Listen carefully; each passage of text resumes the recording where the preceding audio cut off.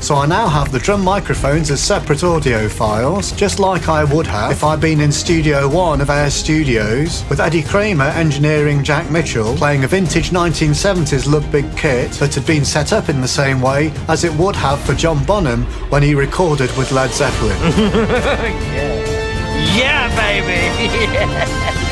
Yeah.